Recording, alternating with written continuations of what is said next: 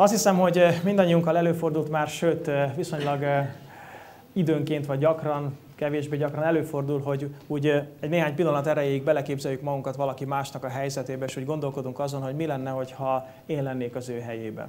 Hát most arra hívlak benneteket, hogy a mai estén egy picit üljünk bele valakinek a székébe, akinek fontos szerepe volt a karácsonyi történet kapcsán, ez a valaki pedig József. Nézzük meg, hogy milyen lehetett Józsefnek ezt az egész dolgot átélni. Úgyhogy felolvasnám nektek a Bibliából, a Máté evangéliumából azt a részt, ami József szemszögéből írja le az eseményeket. Szóval Máté evangélium első fejezet 18. versétől így szól a ahogyan a Biblia írja Jézus születésének a történetét. Jézus Krisztus születése pedig így történt. Anyja Mária jegyese volt Józsefnek, de mielőtt egybekeltek volna, kitűnt, hogy áldott állapotban van a Szentlélektől. Férje József az ember volt, és nem akarta őt megszégyeníteni, ezért elhatározta, hogy titokban bocsátja el. Amikor azonban ezt végig gondolta magában, íme az Úr angyala megjelent neki álmában, és ezt mondta. József, Dávid fia, ne félj magadhoz venni feleségül Máriát, mert ami benne fogant, az a Szentlélektől van. Fiút fog szülni, akit nevezzel Jézusnak, mert ő szabadítja meg népét bűneiből. Mindez pedig azért történt, hogy beteljesedjék, amit az Úr mondott a próféta által, íme a szűz fogan méhében, fiút szül, akit Immanuelnek neveznek, ami azt jelenti, velünk az Isten. József pedig, amikor felébredt álmából, úgy cselekedett, ahogyan az úrangyala parancsolta neki. Magához vette feleségét, de nem érintette addig, amíg meg nem szülte fiát, akit Jézusnak nevezett el. Íme tehát a Jézus születésének az előzményei József olvasatában és szemszögéből. Istennek az volt a terve, hogy József életének a részévé váljon a messiás, a názereti Jézus Krisztus, de ahhoz, hogy ez megvalósulhasson József életében, három nagy lépést meg kellett tennie. Szóval három nagy lépést kellett megtennie eh, neki. Az első, először is el kellett hinnie, hogy nem mese, hanem valóság az, a, amit, amit Mária mond neki. Szóval el kellett hinnie, hogy amit Mária mond a gyermek fogantatásával kapcsolatosan, az nem mese, hanem valóság. A második dolog, hogy eh, fel kellett ismernie, hogy ki az, aki születni készül, és milyen mérhetetlenül nagy a jelentősége ennek az egésznek. A harmadik dolog, a harmadik nagy lépés, hogy fel kellett vállalnia Jézust Máriával, és az összes nehézségével együtt. Ez a három nagy lépés vált tehát Józsefre, amihez, amit mindenképpen meg kellett tennie ahhoz, hogy a messiás az életének a részévé váljon. És ez nem volt könnyű neki, mind a három komoly kihívást jelentett. Úgyhogy most szeretnék egy picit részletesebben is beszélni erről a három dologról, hogy miért volt ez nagy lépés, és miért jelentett ez kihívást. Hát most képzeld el magadat, József székében ülsz, József vagy, főleg a férfiak ezt könnyebben el tudják képzelni, pláne azt, akit Józsefnek hívnak, nem tudom, van-e köztünk olyan, akit Józsefnek hívnak. A hölgyek kevéssé tudják elképzelni, de némi fantáziával azért csak menni fog. Szóval képzeld el azt, hogy te vagy József, és rendes izraelita, igaz férfi vagy, tehát nem élsz szexuális életet a házasságkötésed előtt, és nem is flörtölgetsz a hölgyekkel, hanem komolyan gondolod azt, hogy szeretnél egyszer egy egy, egy lányt, akit igazán szeretsz, elvenni feleségül, és aztán együtt élni vele. József életében eljött ez a pillanat, eljegyezte magának Máriát, és minden rendben ment egészen addig, amíg egy szép napon a menyasszonya elé állt, és azt mondta, te József, mondanom kell neked valamit. Mondja, drágám, hát a helyzet az, hogy terhes vagyok. Nem egy könnyű szituáció. Ott áll ez az ember, ez a derék József, és hirtelen lehet, hogy az összes vér kiment belőle, megfordult vele a világ, elszédült, és azt mondta, hát most akkor, akkor most mi van? Aztán folytatta Mária, és azt mondta, hogy de szeretném megmagyarázni. Ez nem úgy van, ahogy te gondolod, hanem a Szent Lélek rám szállt. És egyszerűen teherbe estem. Hát lehet, hogy József, hogyha eddig el, el, elalélt, akkor most elájult, mert azt gondolta, hogy itt valami komoly probléma van. Tehát elé áll a mennyasszonya, aki előadja, hogy terhes, és utána előadja, hogy ez, ez egyébként a Szentlélektől van. Komolyan feladta a leckét eh, ez a dolog Józsefnek. Most, hogy higgyen Máriának? Teljesen valószínűtlen a történet, amit előadott. Ő nem volt ott, nem látta, nem hallotta, nem tudhatja biztosan, hogy tényleg úgy történt-e, ahogy a Mária mondja neki, ő neki most hinnie kellene a mennyasszonyának, de hogy higgyen neki, amikor ez egy teljes képtelenség, amit Mária mond neki. Úgyhogy volt egy néhány kellemetlen napja és éjszakája egészen biztos Józsefnek, hogy most mit tegyen. És azon gondolkodott, hogy, hogy most mi lesz. Mit fognak gondolni rólam az emberek? Meg egyáltalán, hogy lesz ez az egész? A törvény szerint Józsefnek bíróság elé kellett volna állítani a Máriát, a jegyesét, mert házasságtörést követett el, és a mózesi törvény szerint ez egy halálos bűnnek számított. Úgyhogy nagyon gyötrődött József, hogy most mit csináljon, és aztán végül arra jutott, hogy nem fogja megszégyeníteni, nem fogja pláne bíróságra adni, hanem titokban elbocsátja, hogy menjen Isten hírével, ahova tud, de ő ezt az egészet nem vállalja fel. Aztán olvastuk a történetben, hogy amikor idáig eljutott József, ez volt a maximum, ami tőle tellett, akkor egyszer csak megjelent neki Istennek az angyala. Nem tudom, nektek jelente már meg angyal, nekem ilyen módon még nem, de a Biblia leírásai alapján azt gondolom, hogy ez egy igen radikális esemény lehetett. Amikor egy rendes mennyei lény betoppan a szobádba, annak minden dicsőségével együtt, és tudod, hogy ez egy angyal, és érzed az Istennek az erejét, és aztán azt mondja az angyal Józsefnek, hogy József, ne félj feleségül venni Máriát, a te jegyesedet, mert ami benne fogant, az tényleg a Szentlélektől vad. És ő most szülni fog egy fiút, akinek a nevét nevezd el Jézusnak, ami azt jelenti, hogy szabadító, mert ő fogja majd megszabadítani a népét annak a bűneiből. És aztán idézett neki egy proféciát is az írásokból, ami az Ézsaiás profétánál van megírva, hogy ímé a szűz foganat méhében, és szül fiat, és azt úgy fogják hívni, hogy Immanuel, azaz velünk az Isten. Az Immanuel az egy héber eh, kifejezés, ezt jelenti magyarul, hogy velünk van az Isten.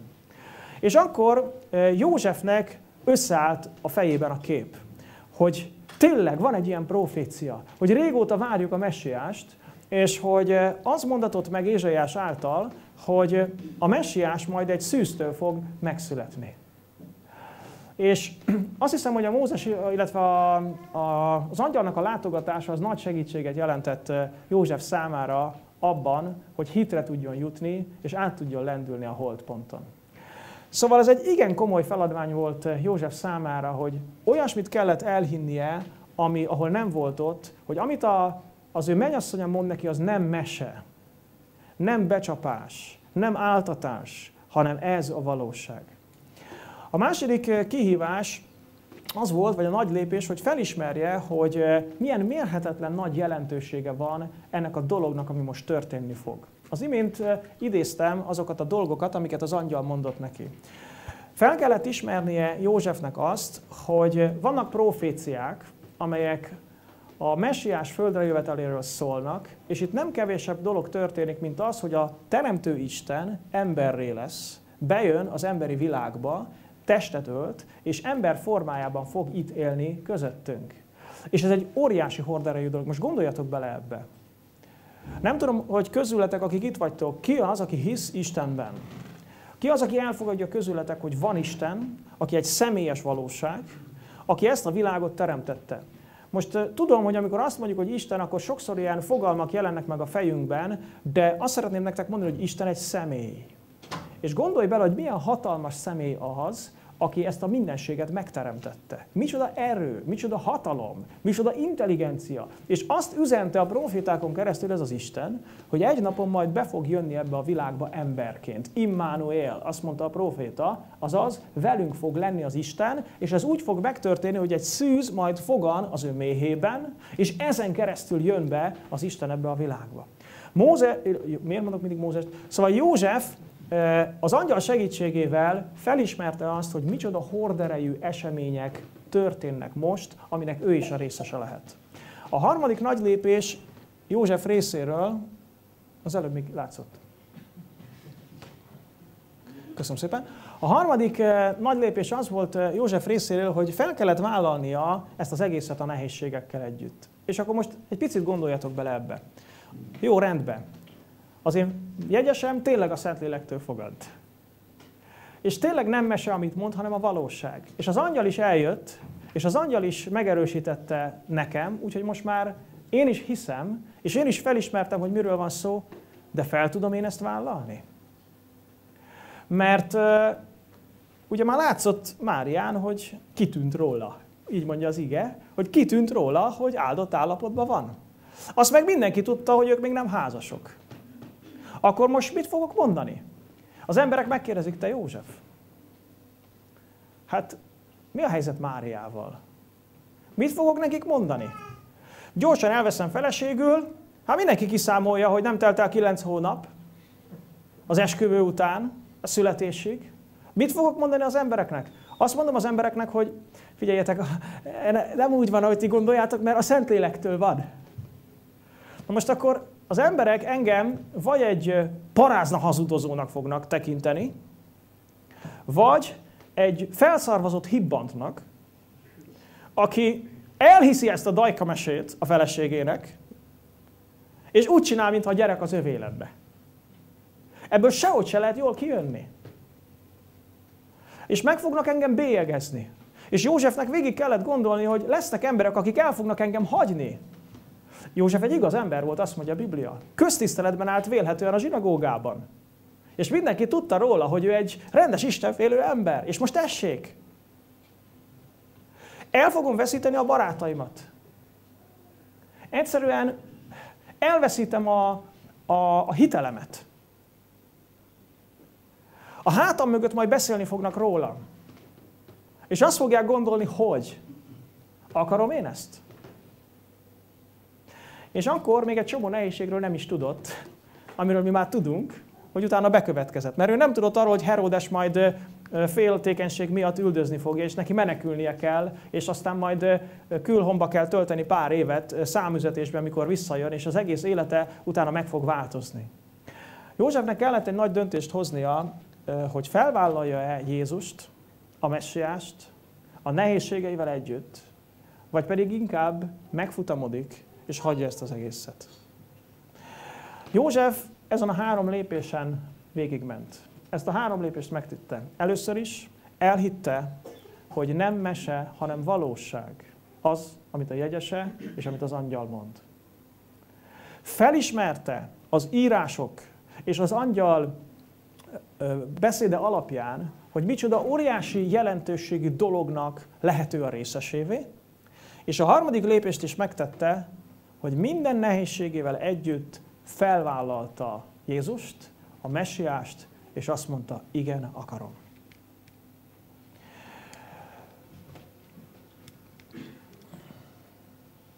Az a kérdésem felétek, feléd, hogy te mit tettél volna, ha József helyében lettél volna.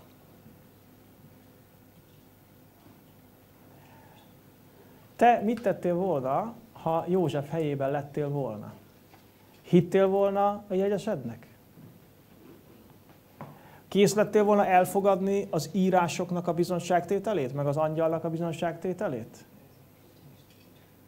És felvállaltad volna Jézust minden nehézségével együtt? Azt szeretném mondani ma este nektek, hogy József helyében vagy. József helyében vagy. Ugyanis Isten, amikor elküldte az ő fiát ebbe a világba, akkor érted is elküldte. Amikor Jézus meghalt a kereszten, akkor a te bűneidet is magára vette, akkor téged is megváltott. Istennek veled kapcsolatosan is az a terve, hogy a messiás az életed része legyen. Ezért tényleg Józsefnek a helyzetében vagy. Van három nagy kérdés. Az első, hogy elhiszed-e azt, amiről csak hallottál, ahol nem voltál ott, amit nem láttál, még nem is éltél, mert 2000 évvel ezelőtt történt. Hiszel-e azoknak az embereknek, akik azt mondják neked, hogy Jézus valóban a testet öltött Isten, és neked tényleg szükséged van rá? Hiszel-e annak ellenére, hogy te nem voltál ott? El tudod-e fogadni ezt? Ami lehet, hogy elsőre olyan valószínűtlennek tűnik. A második kérdés, hogy felismerted-e, micsoda óriási jelentősége van annak, hogy Jézussal kapcsolatba kerülj, hogy benne higgy. És a harmadik, hogy felvállalod-e, felvállalod-e Jézust, akarod-e felvállalni Jézust minden nehézségével együtt. Szeretném egy picit ezt a három dolgot eh, részletezni eh, előttetek. Először is, hadd mondjam el, hogy eh, mindaz, amit a názereti Jézus Krisztusról tudunk, az nem mese, hanem valóság. És ez lenne az első, legfontosabb üzenetem ma karácsonykor felétek. Azért, mert én azt látom, hogy rengeteg ember azt hiszi, hogy ez csak mese. Most az elmúlt héten egy jó pár karácsonyi ünnepségen részt vettem. Gyerekek, óvoda, iskola, középiskola, szóval volt egy jó pár ilyen karácsonyi ünnepségben részem. És meg kell mondanom, azt, azt látom, hogy az emberek úgy beszélnek valamiről, hogy az egészben nem hisznek. És beszélnek az Úr Jézusról, meg énekelnek, meg verset mondanak, meg előadják a Betlehemest, és az egész számukra csak egy mese.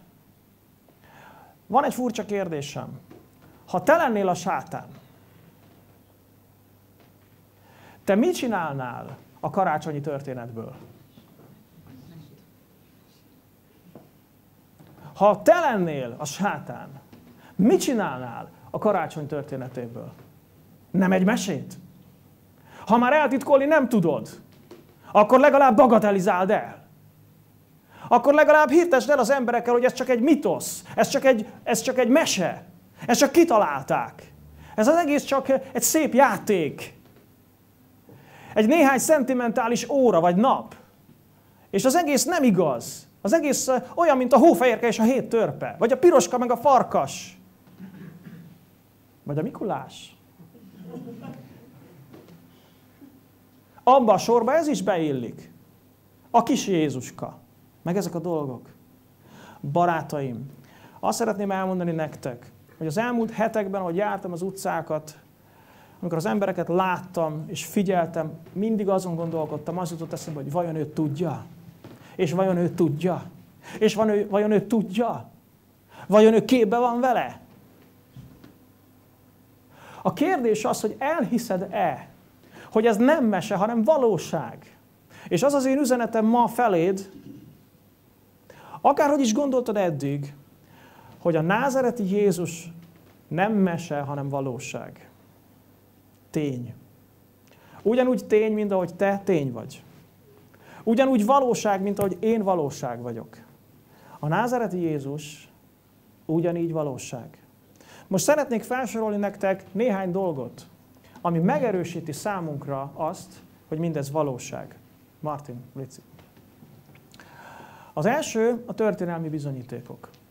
Régebben a mi környezetünkben is sokan úgy gondolták, hogy eh, tulajdonképpen ez a názereti Jézus ez csak egy mese, és soha nem is élt ilyen személy, hogy názereti Jézus. Ma már egyetlen történész sem vonja kétségbe a názereti Jézus valóságát. A názereti Jézus léte, hogy itt járt ezen a földön, történelmi tény. Nem csak bibliai források, hanem biblián kívüli források is írnak róla és említést tesznek. Az ókori történészek, Josephus Flavius, más római történészek az írásaikban említést tesznek a názáretiről, Krisztusról.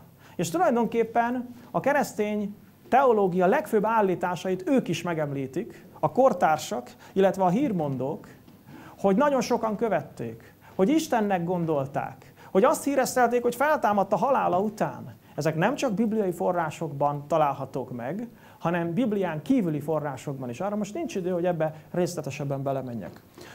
A következő az evangéliumok beszámolói. Az új szövetségben van négy evangélium. Máté, Márk, Lukács és János evangéliuma. Ezek az evangéliumok nem vallásos ö, ö, értekezések, hanem ezek, ö, ezek beszámolók. Szemtanúknak a beszámolói. Például Lukács az evangéliuma elején azt írja, hogy derék Teofiluszom, szeretnék írni neked mindarról, amiről eddig tanítást kaptál, hogy megtudd a kétségtelen valóságot. Azt mondja, hogy mindennek pontosan utána jártam. Elmentem a helyszínekre, beszéltem az érintettekkel, és mindazt, amit hallottam, azt most leírom neked. Lukács, az evangélium szerzője egyébként az apostolok egyik utitársa volt, aki velük együtt, velük együtt utazott, úgyhogy bizonyára számtalanszor hallotta szóban a Jézusról szóló beszámolókat az apostoloktól, de mégis, mivel ő orvos volt, és a korábban egy tudományos ember, ezért elment és körbejárta Judeának, Galileának azokat a részeit, ahol Jézus tevékenykedett, leült, beszélgetett az ottaniakkal, mint egy oknyomozó riporter. Elment, és összegyűjtötte az információkat, és utána leírta. És képzeljétek el, hogy Lukács evangéliumában több tucat konkrét személy van megemlítve névvel, lakcímmel, akiket fel lehet keresni, és fel lehetett volna keresni, és utána lehetett érdeklődni, hogy tényleg úgy volt-e. Tehát amiről az evangéliumok írnak, az nem egy ilyen vallásos irat, hanem egyszerűen egy történeti beszámoló Jézusnak a személyéről. Menjünk tovább, egy harmadik dolgot is hadd említsek, a beteljesedett proféciák. Nem tudom, hogy hányan tudjátok, de az Ószövetségi írásokban több száz, még egyszer mondom, több száz olyan jövendőlés és profécia van, amely Jézus személyében beteljesedett. Hogyha elolvasod a Máté evangéliumát, akkor a Máté evangéliumában nagyon sok ilyen szófordulatot fogsz majd találni, hogy beteljesedjék, amit a proféták írtak. És akkor beidézi az adott proféciát. És hogyha akarod, akkor ezt összevetheted, mert ez mind így van. És teljesen tényszerű, történészek által, tudományos szempontból igazolható módon ezek az írások, ezek a proféciák több száz évvel azelőtt írottak, és ezek tartalmazzák ezeket a konkrét proféciákat amelyek Jézusban beteljesedtek. Meg volt profétálva, hogy hol fog megszületni. Meg volt profétálva az, hogy menekülnie kell a, halál, a születése után. Meg volt profétálva, hogy Názáretbe fog majd felnöve, felnevelkedni. Meg volt profétálva nagyon sok minden, ami az életében beteljesedett. Az utolsó hetében, a halálával, feltámadásával kapcsolatosan rengeteg apró részlet konkrétan meg volt profétálva. Az, hogy a köntösére sorsot fognak venni. Azt, hogy 30 ezüst pénzét fogják elárulni. Azt, hogy a, a vérdíjon majd megveszik a fazekasnak a mezet mezejét, azt, hogy szamárháton fog bemenni Jeruzsálembe, azt, hogy a kezeit és a lábait át fogják lyukasztani, azt, hogy gazdagok közé fogják temetni, majd miután meghalt. Ezek mind konkrétan meg vannak jövendőlve, és hogyha veszed a fáradtságot, ezt ki tudod keresni a Bibliából. Emberek, ez félelmetes, ez fantasztikus, valami van itt, amivel figyelnünk kell.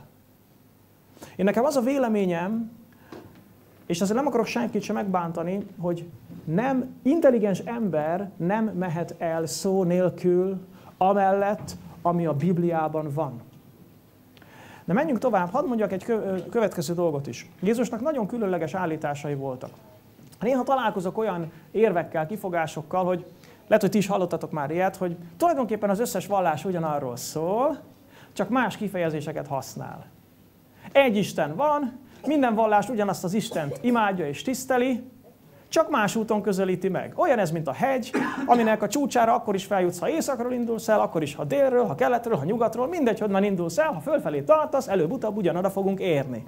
És vannak ilyen népszerű filozófiák, hogy minden vallás egy. De tudjátok, az a helyzet, hogy ez nem igaz. Ez csak akkor igaz, ha messziről nézed. Ha messziről néznélek benneteket, azt mondanám, itt egy csomó ember, és mind ugyanaz. De ha közeljövök hozzátok, akkor látni fogom, hogy Nincs két egyforma közöttetek. Amit a Biblia mond Jézusról, amit Jézus mondott önmagáról, azok egészen különlegesek. Hadd soroljak fel csak egy néhány dolgot, ami teljesen különleges Jézusban. Az első. Jézus azt állította magáról, hogy ő a mennyből jött a földre, és nem akkor kezdett el létezni, mikor megszületett. Ilyet nem állított magáról egyik vallás alapító se. Jézus azt állította magáról egyenesen, hogy ő Isten. Figyeljetek, meredek. Jézus azt állította magáról, hogy ő Isten. Buddha, Mohamed, más vallás alapítók soha nem mondtak ilyet.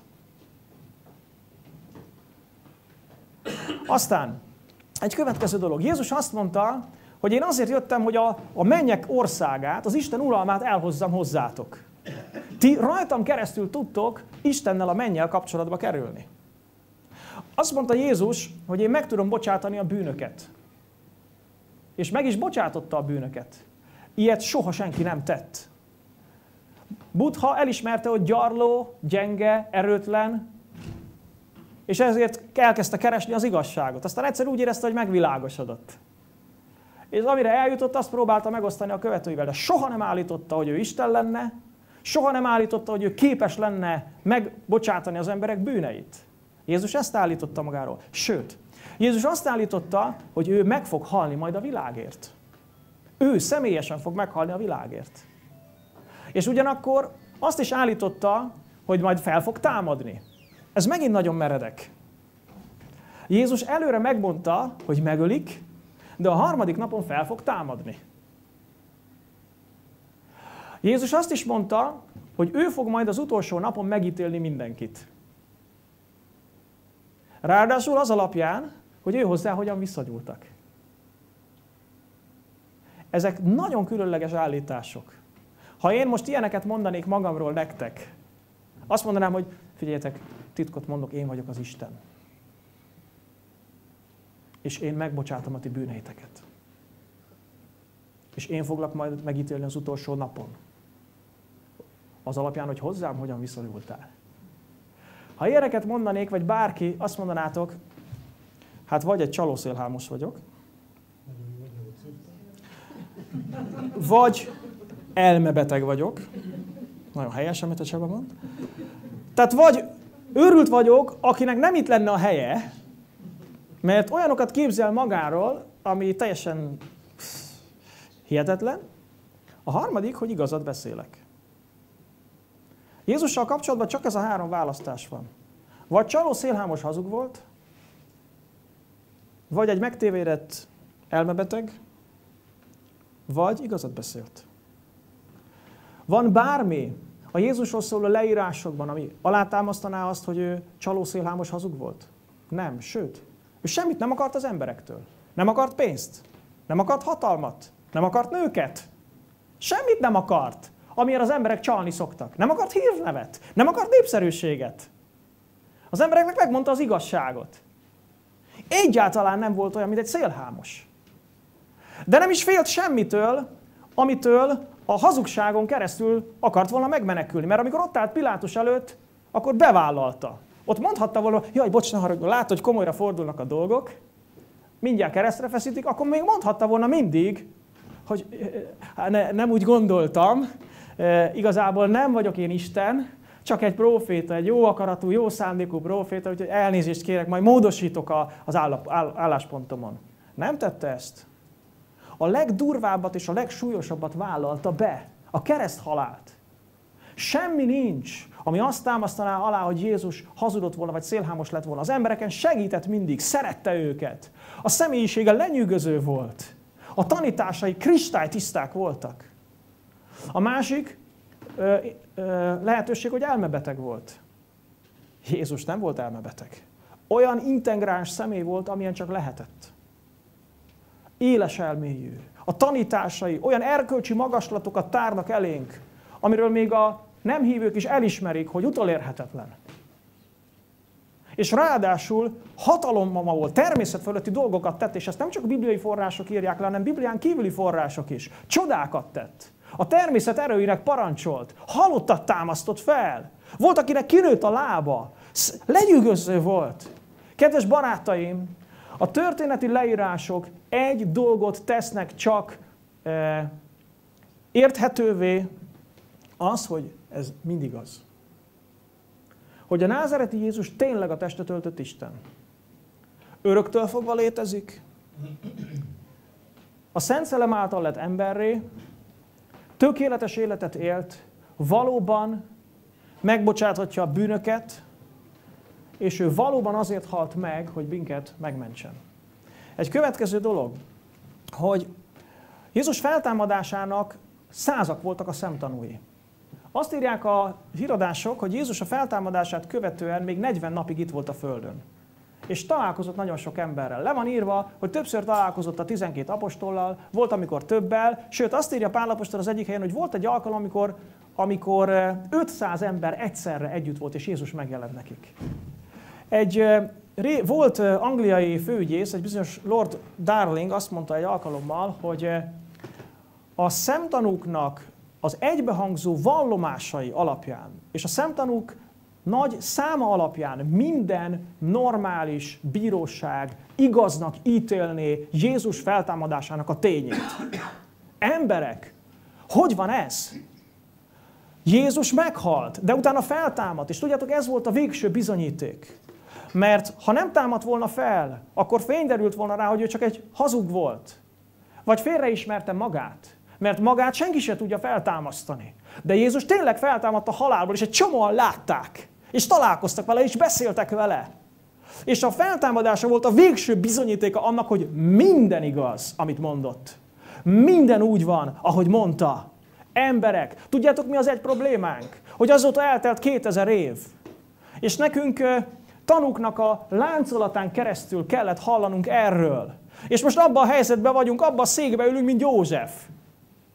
El kéne hinnünk valamit, ahol nem voltunk ott. El kéne hinnünk valamit, amit nem láttunk, amit nem hallottunk. De akik mondták, azok hitelesnek tűntek. És minden azt támasztja alá, hogy tényleg igazat mondanak. Akkor most mi lesz velünk? Mit fogunk tenni? A követői önfeláldozása. Nem tudom, tudtátok-e, hogy a 12 apostol közül 11 vértanú halált halt. Te meghalnál egy hazugságért? Lehet, hogy egy ügyért meghalnál, amit igaznak gondolsz, de egy hazugságért soha. Amikor kezdenék a körmeidet lehúzni, akkor meggondolnád magadat. Sőt, még azt is bevallanád, amit soha nem tettél meg. Hogy lehetséges az, hogy a 12-ből 11 kész volt az életét áldozni? Hogyan lehetséges, hogy azon a 11-en kívül még sok száz, sok, sőt, sok ezer és ma is ezrek vállalják a halált, miközben el is kerülhetnék azt. Egy válasz van csak, hogy ez igaz. Jézus valóban a testet öltött Isten. Valóban meghalt értünk. Feltámadt a halálból, és minden igaz, amit mondott, és minden igaz, amit ígért. És még egy dolog. Milliók tapasztalata. Azóta eltelt 2000 év. De milliók és milliók tapasztalták meg személyesen, hogy Jézus él. Köztük én is.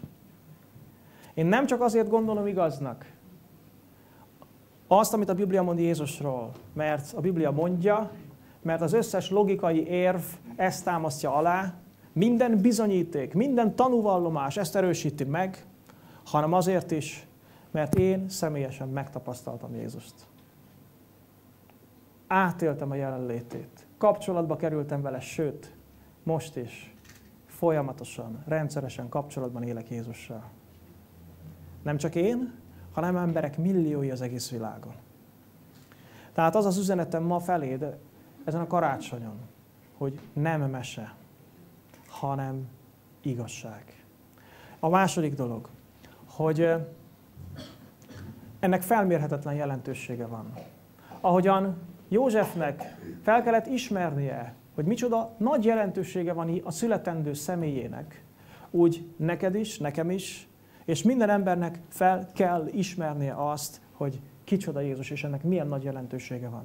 Tudjátok miért? Mert ha nem lett volna fontos, Isten nem áldozta fel volna értünk a fiát. Jézus azért halt meg, mert mi bűnösök vagyunk. Van Isten. Ő teremtette a világot. Ez az Isten tökéletes. Ő maga szeretett, jó és szent. Nincsen benne semmi gonoszság. Jó akaratú. Azért alkotta meg az embert és ezt a világot, hogy élvezzük az életet. És hogy vele kapcsolatban legyünk. Mi a probléma? Hogy az ember elfordult Istentől. Nem akarja Istent. Nem akarja az ő rendjét. Nem akarja az ő törvényeit. A maga útját akarja járni. És lehet, hogy itt magadra ismersz. És ez a legnagyobb bűn. Hogy magát Istent utasítjuk el.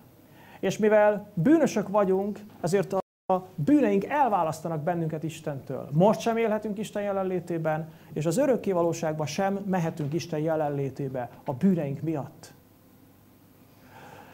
Van menny és van pokol. Az sem mese.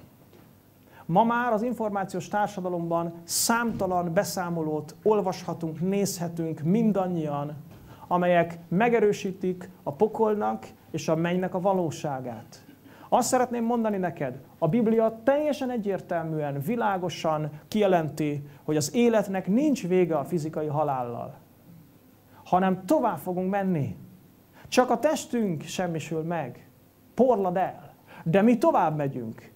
Vagy a mennybe, Isten jelenlétébe, vagy a pokolba, a gyötrelemnek a helyére. Nem középkori mese az, ami a pokolról szól, és nem tündérmese az, ami a mennyről szól, hanem ez a valóság. Ó, hány ember van, aki a halálla után kettő másodperccel már visszaforgatná az idő kerekét, hogy megváltoztathassa a dolgokat, de nem teheti. Emberek. Az élet, amit ebben a földön, ezen a földön töltünk, egy lehetőség arra, hogy Isten felé forduljunk, hogy döntsünk mellette, hogy visszatérjünk hozzá. És meddig mész még Isten nélkül? Meddig utasítod még el őt? Meddig tekinted még mesének a valóságot? Isten szeret téged, és meg akar menteni. És nem akarja, hogy elveszél, hanem azt akarja, hogy amikor majd el kell költöznöd innen, akkor oda mehess hozzá az ő jelenlétébe. És ez nem mese, hanem ez a valóság. És szerintem te is érzed ezt a szíved mélyén, hogy ez az igazság. Ahogyan József is talán érezte a szíve mélyén.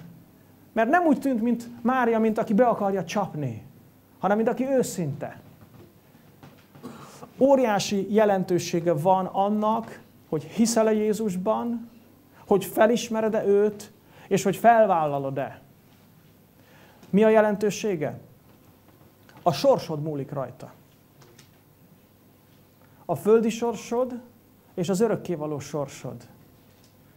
És ezt nem tudom, nem lehetséges eléggé szenvedélyesen hirdetni. Mit ér az egész világ, ha megnyered? Ha elveszíted az üdvösségedet? Mit ér mindaz, amit a Földön megszereztél magadnak, hogyha végül az ítélet helyére kell távoznod? Isten senkit nem akar az ítéletre küldeni. Senkit nem akar a pokolba küldeni.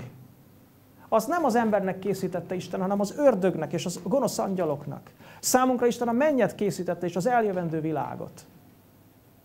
Három igét hadd mutassak nektek. János 3.16. A legtöbb ember ismeri, mert úgy szerette Isten a világot, hogy az ő egyszülött fiát adta, hogy aki hisz ő benne, az ne vesszen el, hanem örök élete legyen. Isten feláldozta volna az ő fiát, ha lenne örök élet nélküle is. Isten szeret téged. Érted is, elküldte a fiát ebbe a világba. Meghalt a te bűneidért is. Magára vette a te bűneidet is. Mindent, amit elrontottál, ő jóvá tett, mert megbűnhődött érte. És aztán feltámadt a halálból, és most is él, és a Szentlélek által jelen van, mindenhol. Különösen ott, ahol hívják őt. És kész megbocsátani a bűneidet, hogyha hiszel benne és elfogadod őt. És örök életet ad neked. Egy következő ige, jelenések 3.20. Azt írja a Biblia, Jézus üzenni az egyik gyülekezetnek. Íme az ajtó előtt állok és zörgetek. Ha valaki meghallja a hangomat, és kinyitja az ajtót, bemegyek ahhoz, és vele vacsorázok. És ő én velem. Szeretném ma Jézussal vacsorázni? Szeretnéd, hogy már a vacsora alatt ő itt legyen belül? Akkor hívd be, itt nem a lakásunk ajtajáról beszél az ige, hanem a szívünk ajtajáról. Jézus, a Szent Lélek, a Szent Szellem által jelen van. És be tud menni a lényedbe. A Biblia erről beszél, hogy ő bemegy a lényébe azoknak, akik őt befogadják. Nézzétek a következő igét. János Evangélium első fejezet 12. vers. Akik pedig befogadták őt, azoknak hatalmat adott arra, hogy Isten gyermekeivé legyenek azoknak, azoknak, akik az ő nevében hisznek. Jézust be lehet fogadni. Ahogyan a postás előtt kinyitod az ajtót, és mondod neki, tessék bejönni. Ugyanúgy megszólíthatod Jézust, és azt mondhatod, Uram, gyere be. Bűnös vagyok én is. Nem akarok elveszni. Szükségem van rád. Kérlek, válts meg engem is. Az én bűneimet is bocsáss meg, Uram. Legyél az én megváltóm. Behívlak téged. A kérdés az, hogy mit fogsz tenni. Ez a szék nem József széke, hanem a te széked. Elhiszed. Elhiszed végre. Hiszel a tanúknak? Hiszel az írásoknak? Hiszel azoknak az embereknek, akik már átélték? A második kérdés. Felismerted a jelentőségét Jézus személyének és megváltásának? És a te döntésednek vele kapcsolatosan? A harmadik kérdés, hogy felvállalod-e? Hát igen. Van, aki engem is bolondnak néz. Azt mondja, József, te hibbant vagy. Ez az asszony, ez nagyon átvett téged. Elvette a szerelem az eszedet. Vagy az is lehet, hogy te magad vagy az a bűnös. Engem nem érdekel. Mert tudom, hogy kicsoda Jézus. Tudom, hogy mit kaptam tőle. És tudom, hova megyek. És tudom, mi a jelentőség az ő személyének. Ezért engem már nem érdekel, hogy az emberek erről mit mondanak. Fel tudod vállalni Jézust a nehézségeivel együtt. Lesznek, akik elhagynak. Lesznek, akik bolondnak néznek. Lesznek, akik megbélyegeznek. Lesznek, akik elhagynak. Felvállalod. A kérdés, hogy kicsoda számodra Jézus. Egy vallásalapító, egy erkölcsi tanító, csupán egy történelmi személy, vagy pedig személyes megváltó. Ha Jézus a személyes megváltód, az azt jelenti, hogy te személyesen kapcsolatba léptél vele, kinyilvánítottad a hitedet ő benne, és behívtad, befogadtad őt a szívedbe. Megkérted, hogy legyen a te megváltód, legyen a te urad, és kapcsolatban élsz vele. Tehát az a kérdésem, hogy számodra kicsoda Jézus. Az az én ajánlatom és a hívásom felétek, hogy legyen Jézus a személyes megváltó. És ez a karácsony ne a meséről szóljon, hanem tud, hogy mindez igaz. Meghatározza a sorsodat, és te felvállalod őt. Hadd fejezem be azzal, hogy eh, Józsefnek mi volt az, ami segített. Na, mi volt? Az angyal.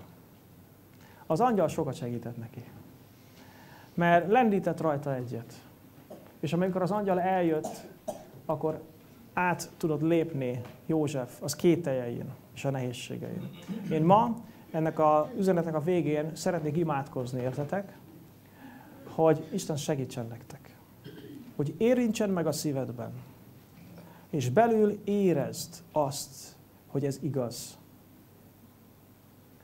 És miután imádkoztam, utána lehetőséget fogok adni arra is, hogy együtt is imádkozzunk. És hogyha eddig még nem tetted meg, de most úgy döntesz, hogy Jézusnak adod az életedet, hogy behívod őt ide belőle a szívedbe, mint a te személyes megváltódat és uradat, akkor ebben az imában majd megteheted. Most arra kérlek benneteket, hogy álljatok.